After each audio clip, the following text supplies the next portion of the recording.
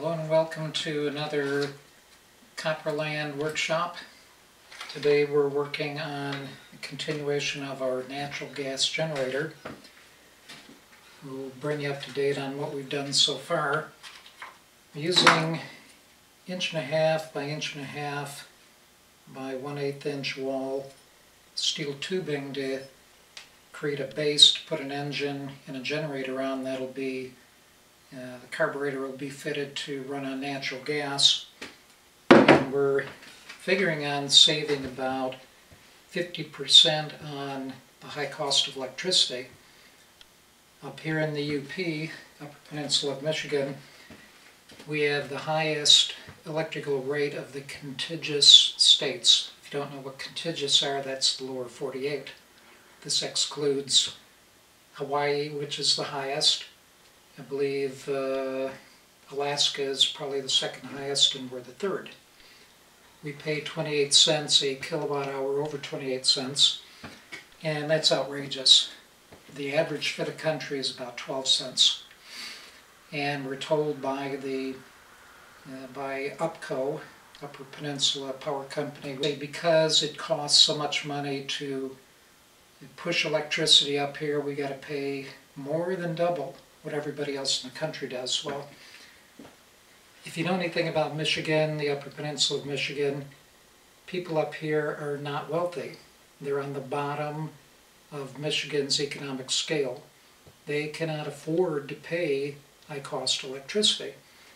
So this first project we're getting into for Copperland is to demonstrate how people who have to work on a very low fixed income can take the cost of electricity and cut that bill about in half every month.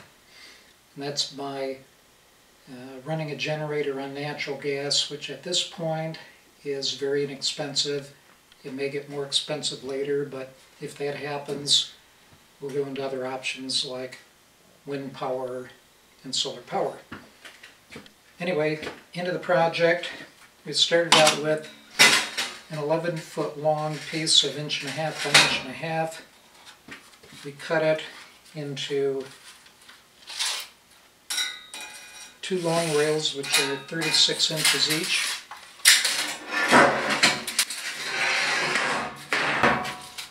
Cross rails are all the same length at 15 and 3 quarters.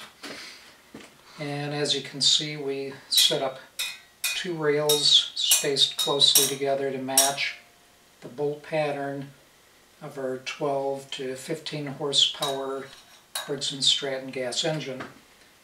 These two rails are drilled and spaced for the generator, which is a 7 kilowatt 110-220 generator. And we'll be running that on a direct drive coupler. And in a later a later workshop we'll show you the components. But for now we're gonna just look at how to weld this thing up. So far we've tack welded the four cross tubes.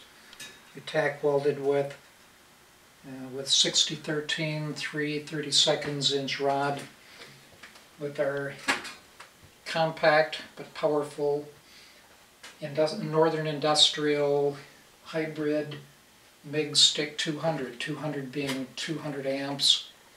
You can run that 35% duty cycle at 200 amps.